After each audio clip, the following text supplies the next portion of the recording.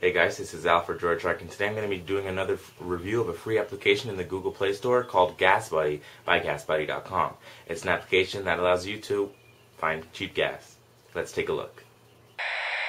Alright guys, so let's go ahead and jump into the Gas Buddy application itself here. Find cheap gas. And here we are. So you got a Gas Buddy account. Yes, you can log in or you can hit no. You can see they give away $250 of free gas every week.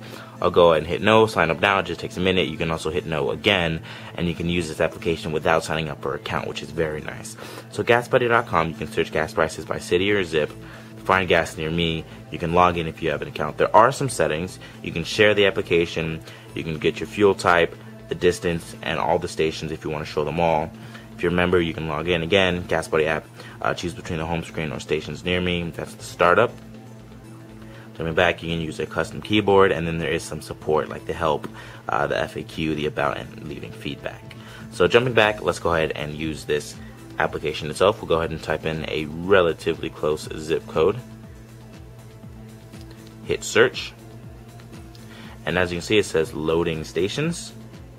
Tap on a price to update, and these are the gas prices near me. So you can see really no uh, close, I mean very cheap gas stations.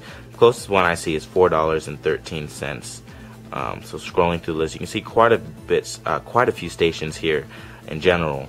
Now on the main screen, there actually are some tabs up here. Regular, there is mid-grade gas, there's premium gas, and there's diesel gas. Uh, you can see there also is an ad. Down here, there's a reload button. You can sort by price, um, as you can see there. And you can also go to a map view, which will load up. One thing I do like is that this application is actually relatively quick. You can see the scrolling is actually pretty smooth as opposed to some other applications out there. You can see all the gas stations that load up. Even with all these gas stations loaded up, the scrolling stays pretty darn smooth. You can pinch to zoom in, which is also pretty smooth. Uh, you can take a look around. Again, pinch to zoom.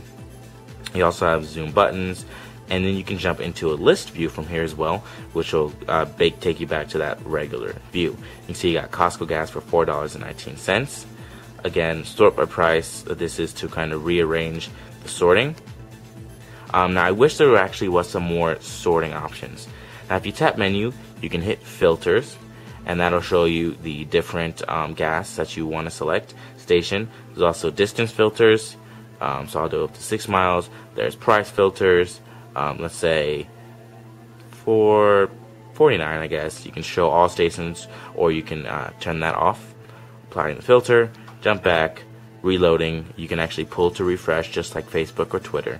Tapping menu again you got the map view your settings. You can save your search you can go back home and then you can search once again. So this is a really nice application if you don't know the area you're in to find cheap gas.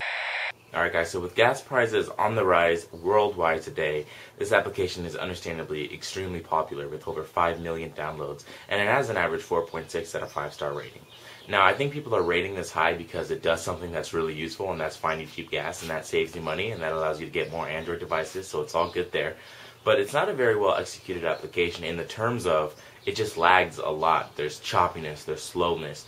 Other than that, the application is great. Even the interface is pretty nice, but it's just a little bit slow for my taste. Even on a premium device like the Galaxy Nexus, that's something I don't want to see. Now, regardless of that, the application, again, does something that's really, really useful. For that reason, I would be keeping it on my phone if I drove, and if you drive, I recommend you do the same thing. So, thanks you guys for watching. Have a great day.